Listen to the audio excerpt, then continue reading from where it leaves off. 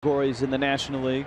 Innings pitched 105. That ball's driven to right center field, hit deep and gone. An off-field shot by Gaby Sanchez. Just the seventh home run that Halladay has allowed this year. For Gaby, his 12th of the season. And the Marlins in this inning have already scored as many runs as they have in the series in the first two games. And we told you that Gaby's had a little success against uh, Roy Halladay. Six for 19 now. That's his second home run.